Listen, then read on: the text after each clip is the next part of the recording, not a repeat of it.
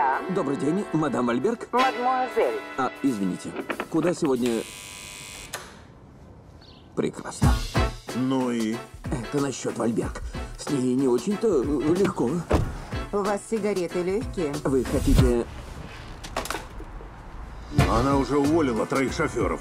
Серьезно? Помоги мне сменить простыни. Э, мадемуазель Вальберг, я шофер, а не меняльщик простыней. Мы едем в Альзас.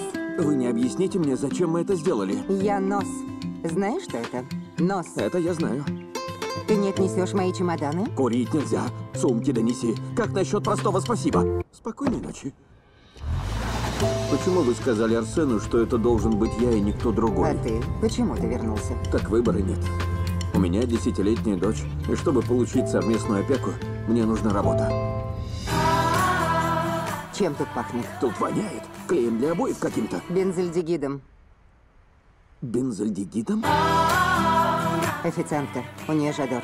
И вы что, знаете, из чего состоят все духи? Я их создала. Это был ее звездный час. Ей предлагали состояние, чтобы она создавала парфюм. Чем это пахнет? Я не знаю. Доверься себе. Я хочу снова создавать парфюм. Поможешь? Может, предложите кому-то с опытом? У тебя дар, Гийом.